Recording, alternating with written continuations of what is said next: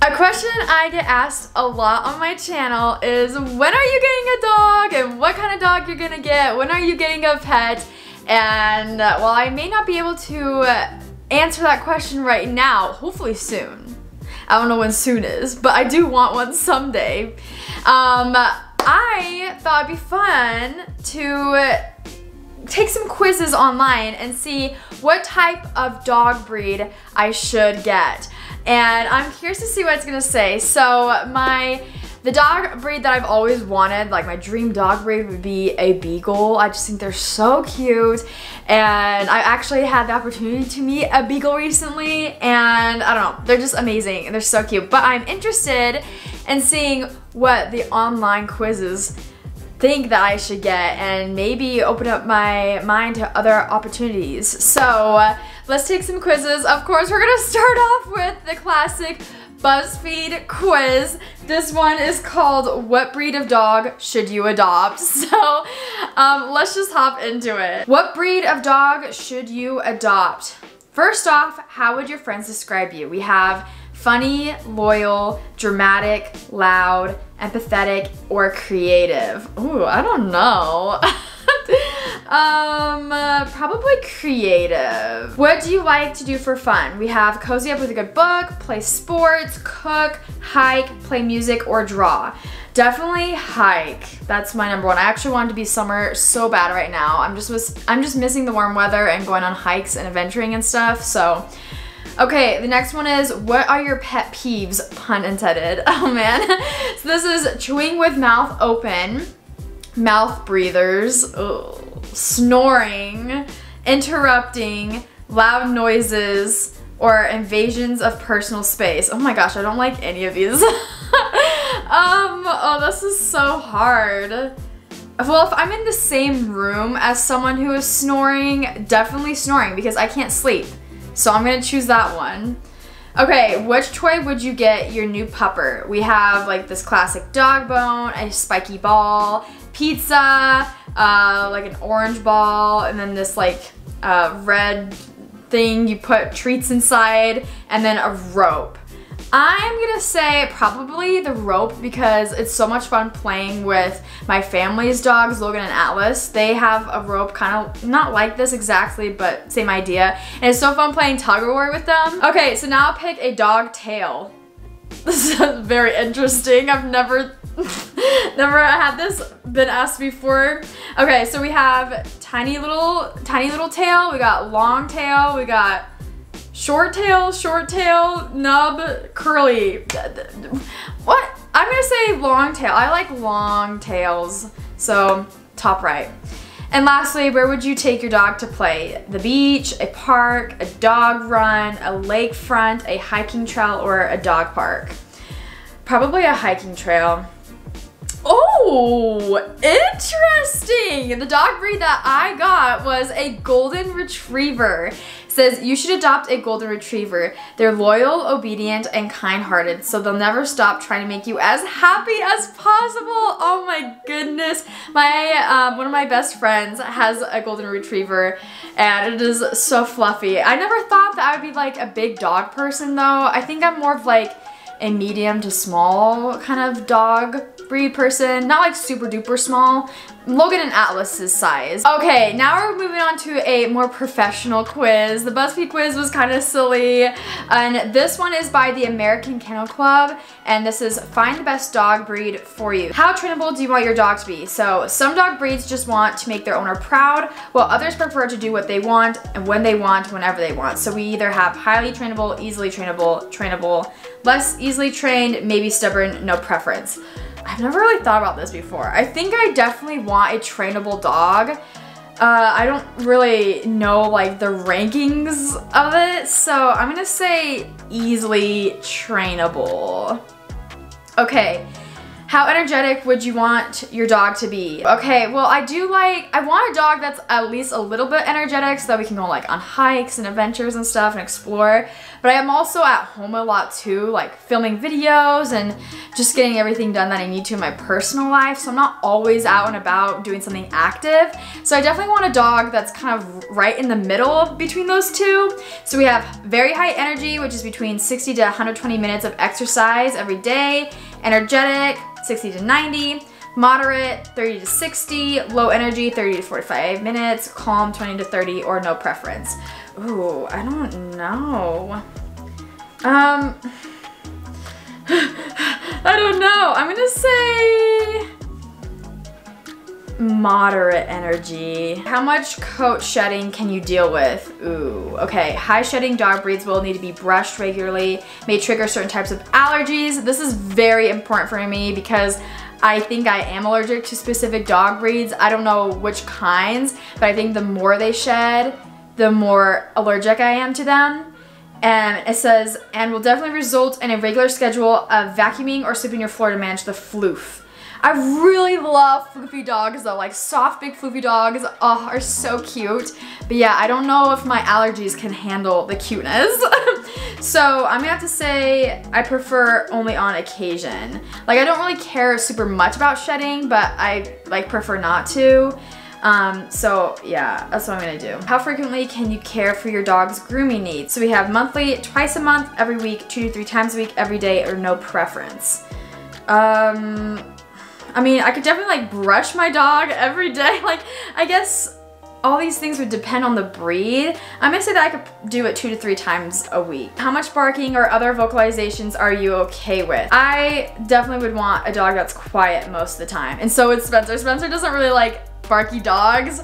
So the quieter the dog, the better for us. What size of dog do you want? From extra small to extra large and all sizes in between, there's an ideal fit for every dog loving household. Big size doesn't always equal big energy, so some large breeds can live just about anywhere.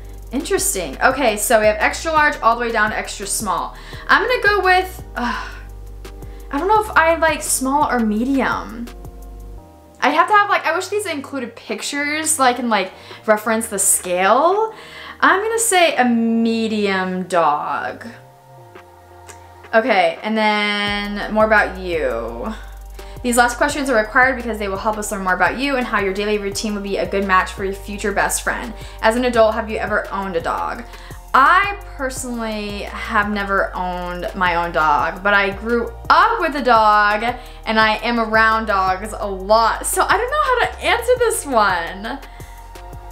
Uh, I'll say, I'll say yes. Or should I say no? I don't know. I'm, I'm gonna say yes just because I kind of know like what it takes to have a dog. Like I have that experience. Maybe not fully because I don't have sole ownership over a dog, but I'll just put, oh, I'll just put yes. Do you have any children in your home? No. Do you have any other animals at home?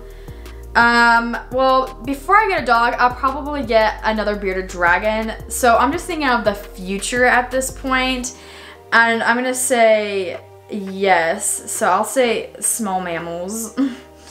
um, what's your apartment like? Right now it's an apartment. I'm thinking that I would want to get a dog in a house, but I'll just say apartment for now. How much time will you spend with the dog each day? This can just be an estimate. So I could, if I'm like work, I, I'm honestly like all day really. Like if I'm going somewhere, if it's like my family's house, I'm gonna bring the dog with me. So I'm gonna say like more than 10 hours. What's your activity level, level, adventure lover, walks around the neighborhood, hang out on the couch? Well, this varies so much for me because like during the summer, definitely adventure lover. During the winter, more hanging out on the couch. So I'm gonna go walks around the neighborhood right in between. And do you want a low allergen dog? Yes. All right, let's see our results. I'm so excited. oh my gosh, this looks just like Logan. That's so crazy. So it gave me the American Water Spaniel, which are charming, eager, and happy. So Logan, I think, is an American Cocker Spaniel. So like, they're like probably cousins essentially that and you can click find puppies and then it'll show you like nearby where you can find the American Water Spaniel Top two was the American Hairless Terrier. I didn't even know this was a thing. Well, this also had a 71% match. So it was about the same as the other one. Whoa, okay. Top three, wait, still 71%? I'm so confused. The top three is a Schipperke? I've never heard of this one. Okay. Top four was the Pyrenean Mastiff. Whoa, this is a big doggy. And then fifth place was the Keeshond. Wow, there are so many dog breeds out there that I've never heard of. All right, I went on to a different website called IAMS, I-A-M-S. I've never heard of this, but uh, this is the dog breed selector. So here we go. It says, where will your new dog live? Okay, well, this is the problem I'm running into again. I'm gonna click house this time because I'm more likely to get a dog when I have a house than I am to get one while I'm still living in my current apartment. How much space will he have to play? I don't know. I don't know because I don't have a house. How much space will he have to play? I'm just gonna think of my dream house. Well, my dream house would probably have a lot of land, so I'll say it's probably between small yard and average yard. I'll probably say average yard. I don't know how big that is. Average yard. Will you have any kids to snuggle with? No, I don't have kids. I'm planning on it. No, I don't have kids yet. Yes, I'll have kids under 12 and or I have kids over 12. Well, I'll click no, I don't have kids yet. Have you owned a dog before? Yes, I'm an experienced dog owner or this will be my first dog. Okay, well, this quiz I'll put, this will be my first dog because it is like my first dog, so. Will he have other roommates, other pets? Um, only a bearded dragon. So I guess other small animals? Which best describes your future pet's personality? Tip if you live in an apartment, opt for a friendlier dog. So we have highly protective, moderately protective, fairly friendly with strangers, or loves everyone. Probably loves everyone. But I also want it to be protective. Oh, I don't know. I'll just say, mm, should I do fairly friendly with strangers? I'll put fairly friendly with strangers.